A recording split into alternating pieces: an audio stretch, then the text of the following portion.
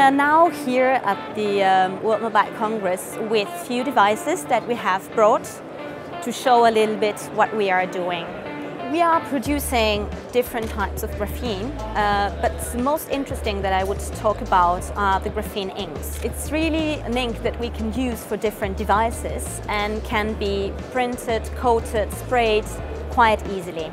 We have a very simple material, which is normal paper, and we have printed two stripes of graphene. And this is just to show how a material like that can easily become conductive the idea of IIT is not only to do research, but also to have some real technology transfer.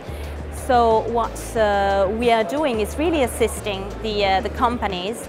We are also opening a startup, which is named BeDimensional, that will be uh, in charge of uh, helping the companies to integrate graphene in their products.